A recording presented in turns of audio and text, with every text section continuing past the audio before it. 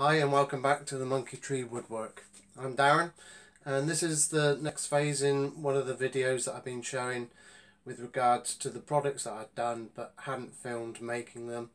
Um, most of you uh, are watching these because you know how to cut a piece of wood, it's just getting ideas um, on things to make. So if you remember in my last video it was a uh, piece of wall art with an outcut of a guitar um, and I used a piece of uh, or four pieces of paper um, drew out a guitar cut it out and and then laid that over and penciled around it used my jigsaw to cut around it and then I ended up with a leftover piece. So the piece um, I kept I thought that I'd be able to use it for something else and this is what I've done with it. Um, so the outline of the paper cut that out as I said with the uh, jigsaw and um, put it to one side for the time being to wonder you know to try and think about what I was going to do with it. And this is what I've done. So at the moment um, I'm not sure whether it'll go on the wall or just a freestanding piece. Um, at the moment it, uh, it's just standing um, in front of our fireplace but uh, maybe it will go up on the wall at some point. Um, so on the back side of this, again, I've used LED lights um, and these are just single white lights um, that will either flash or um, stay on. And staying on in the evening with those lit up behind um, gives it a real nice effect. The backboard is um, pallet wood, again just sandwiched together no dowels, no biscuit joints. Uh, and then it's um, painted with a um, interior wood paint uh, which got from B&Q uh, and it's uh, a gunmetally uh, colour to it.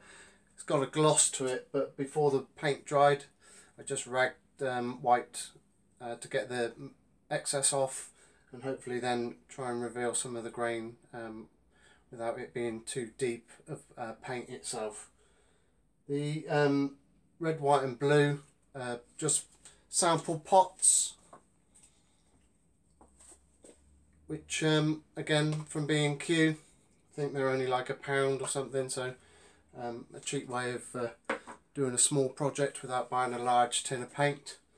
The LED lights have come from eBay again for I think just because of these don't change colour. They were only about three or four pounds, so not a lot um, in expense.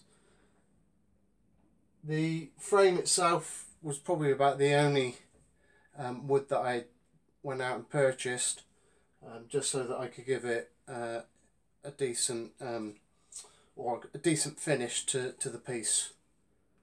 Not sure whether that will get painted, um, but at the moment it's staying this pine seems to work quite well.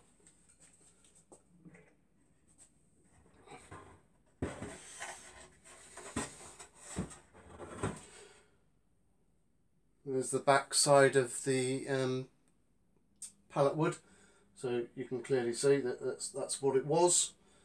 Um, nothing fancy. And joining um, the, the frame to the uh, pallet, I've used a nail gun and glue just to make sure that it's secure and doesn't start warping and moving about.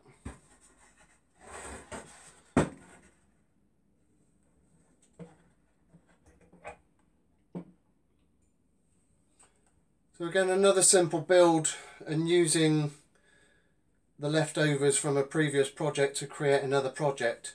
So again just upcycling, recycling, whatever you want to call it.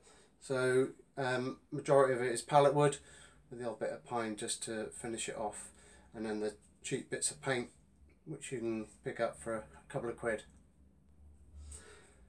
So I hope you enjoyed the video, nice short one but again just showing you um, what you can make without having to show you how to cut a piece of wood.